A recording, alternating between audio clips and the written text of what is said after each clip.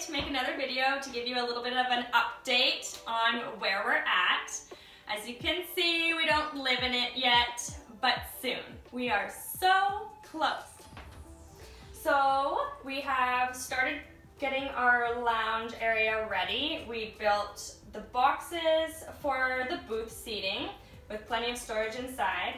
We'll also have um, our table come down so it will become a bed area or sleeping area as well. It's right next to our patio door so we get lots and lots of natural light. As you can see it's super bright in here. Got our little funky design on the wall. If that gives you a little hint, we're super retro people so we're gonna have a pretty groovy place.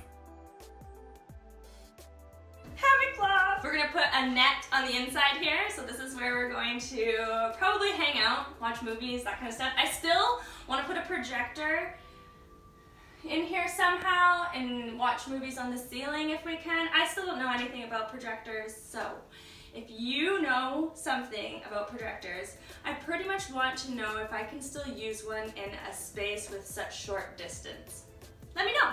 So we decided to go mostly with propane for our heating of the house and our stove and our tankless hot water heater.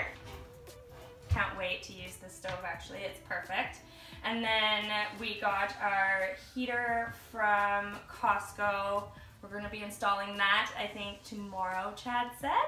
So that's super exciting. We're almost on the electrical, a few more switches left gas fitting tomorrow-ish, and then this week plumbing, and then we're done all of our services. We're so close. We're so, so close. As a last minute decision, Chad suggested we paint all of our drawers super colorful to match the colors of our tiny house. And then we still have to put all of the door fronts on our drawers and handles on our drawers. And then we have to do our counter cabinet drawers as well. So we still have some finishing there to do.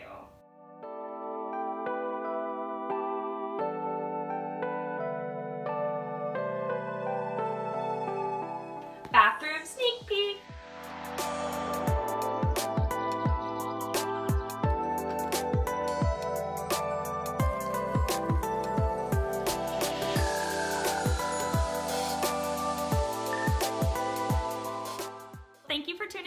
Our little update. I wanted to give you, I wanted to show you where we're at so that you can have an idea of what's to come.